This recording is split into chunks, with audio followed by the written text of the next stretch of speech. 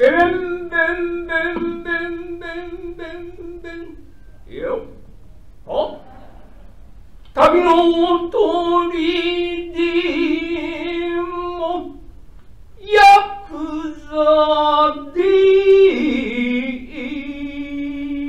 も母の渋さは忘られ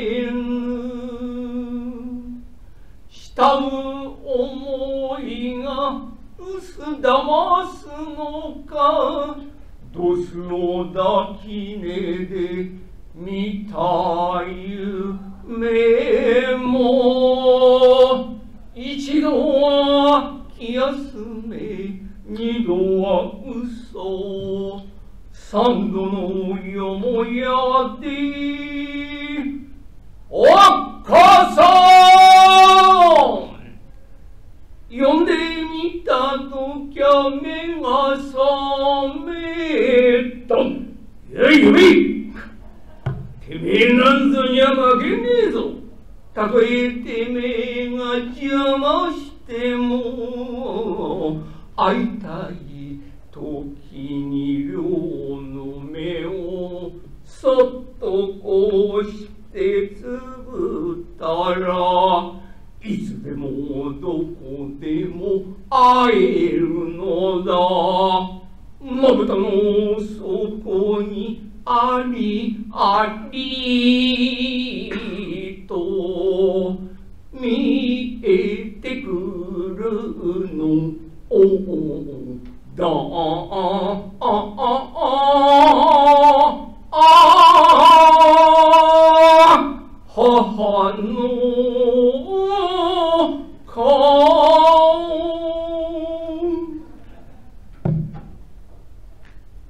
私がこの主だが会いたいってのはお前さんか。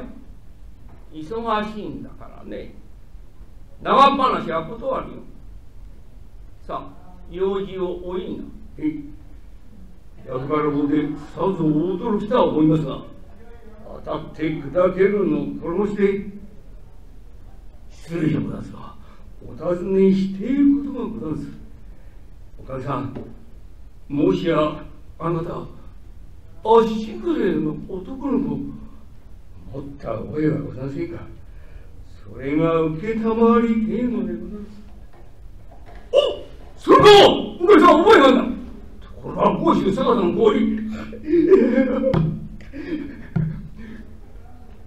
サメがか。ら南へ一里すり張峠のバンバシクそれがどうしたてんだ沖縄や中米という六代続いた旗小屋を知っておいででご存しょう知ってます私が若い時嫁いだ宿宿。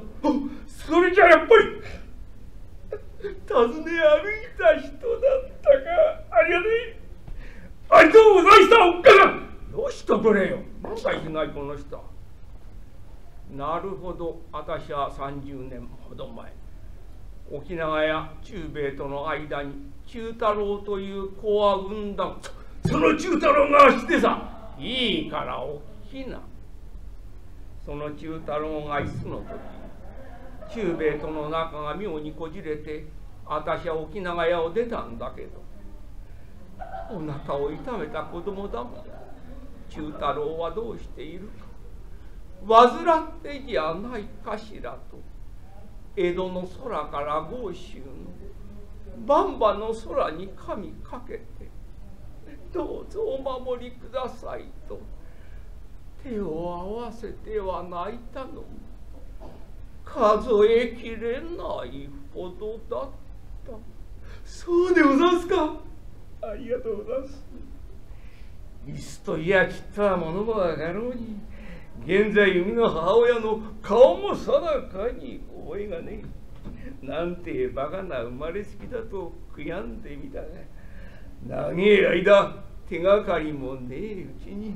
探し歩いているうちに哀れじゃござんせんかおっかさんあっしも30を越しました。おだまり。またしてもおっかさんってのは何てこった。私の中太郎はね9つの時に流行り病で死んだと聞いてる。とんでもねえ。死んだなんてのは何かの間違いだ。お前さんが江戸の空から豪州の 涙を流して無事を祈った中太郎はこれこの通り立派に生きております。何をでたらめなこと。吉んそれが本当でも。いや違う。はは分かった。お前その手で入り込むつもりだね。入り込む？そうさ。商売は繁盛だししかも女主だから。うまくいったらなんとかと新書を狙ってくるやつがちょくちょくいるからさいくら欲しいんだい？わらじ船ならあげますよ。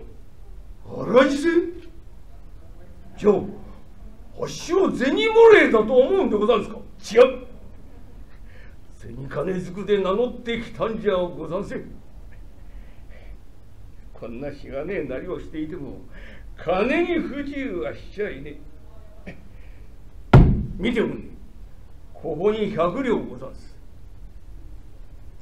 顔も知らねえおふくろに巡り合ったその時。幸せに暮らしていればよし。困っていたならば手土産代わりと心がけ今日が暇で花火肌さず。湧いてきた金だ。見りゃ立派な料理屋の。女主がおふくろか。ああよかった。こんな嬉しいことはねほっと安心したものの。金があるから用心深く。現在生みの我が子さえ。なんと情けねえ。情けないのはこっちの方だよ。娘のおとせに養子を取って孫ができたら森をして余生を楽に暮らそうと思ってその時の待っているのに。え？なんてこったいいきなり変なのが飛び込んできやがって。死んだはずの忠太郎が生きています？あたしだなんて。お前の心は分かっているよ。忠太郎だと名乗って出て。娘に譲るこの水熊の寝台をいくらにでもしようという魂胆さ。とんでもねえ。なんでわしはそんなことそうでなかったらとっととお帰り。経理おかみさん。もういっぺんだけ念を入れさせていただきます。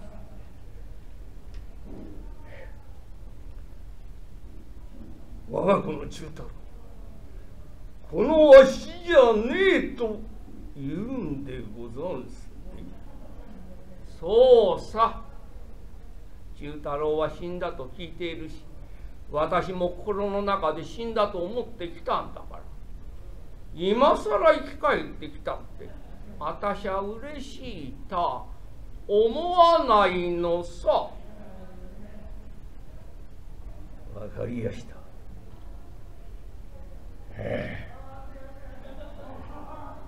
長い間別子になって暮らしているとこんなにも心と心に開きのできるものなのか。情けに。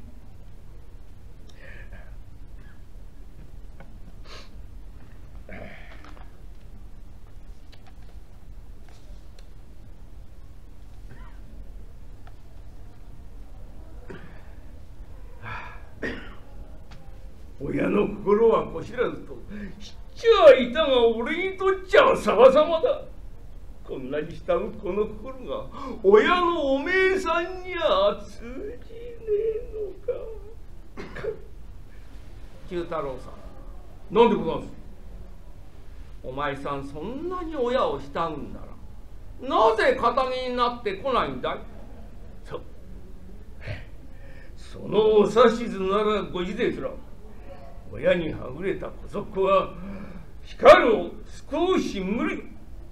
肩になるのは遅まきでござる長い間の旅にうせヤクザ家業の泥沼へ足をすねまで突っ込んで何の今さら肩になんぞなれましょう。よしんば肩で辛抱しても喜んでくれる人のあることか。裸一貫天にも地にもたった一人じゃござんせんか。考えてみりゃ俺もいいバカだった。相手見て。そればっかりで命を懸けた。あっしの母親はまぶたとまぶたを合わせたらいつでもどこでも会えてたもの。あっしわざわざ骨を折ってこの中太郎が消してしまった。おかみさんとんだお邪魔でございました。二度と再び中太郎お宅ののきゃくりませんごめんなさい。おっ母さん。おお父さんお前見ていたのか？えあの人いつかおっかさんが話をしていた豪州の中太郎兄さんじゃないんですか？お父さんおっかさんは薄情な人間だった。じゃあやっぱり兄さんだったのね。なぜ兄さんを返したのよ？おっかさんなぜ兄さんをオケへ通してあげなかったの？親子さんに抱き合ってなぜ泣き明かそうとはしなかったの？お父さんお前の言うのはわかるけど死んだと思っていた忠太郎が急に名乗ってきたので初めは堅いだと思って用心し中頃はうちの寝台に目をつけてきたのだと疑った。しまいにゃしまいにゃお前の行く末に邪魔になると思い込み私はどうぞ追い返してしまった。んだよ。お母さんあなたはそれでも人の母ですか？こう思う親なんてそんな邪険なものじゃないわよ。信頼が何です。お金が何です。そんなものより尊いのは親兄弟の情じゃありませんか？同じおっかさんの子でしょ。お願いですからもう一度兄さんを呼んでください。もう一度兄さんをお願いですから呼び戻してはあそうだそうだったあ落とせ誰か誰かいないか。あ板さんあのねすぐに籠を2丁雇っておくれ。えおとしお前も一緒に来るんだ。兄さんを呼ぶんだよ。そのまま表へ飛んで出た。狂気のような母と子なせて。飛ぶ二丁の籠ベベンベンベンベンベン十太郎や兄さん十太郎来やがった今なきゃなんで？俺は嫌だ。嫌だ。嫌だ嫌だ。何があって何回やるもんけまぶたの上下ぴったり合わせてこうしてじっと考えりゃ合わねえ昔のおっかさんの面影が出てくるんでそれでいいんでそれでいいんだ。会いたくなったら目をつむろうな。ベベンベンベンベンベンベン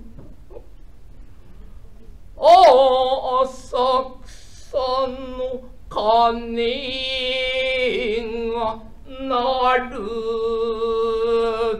あれは竹屋の私船。影を姿を送るように。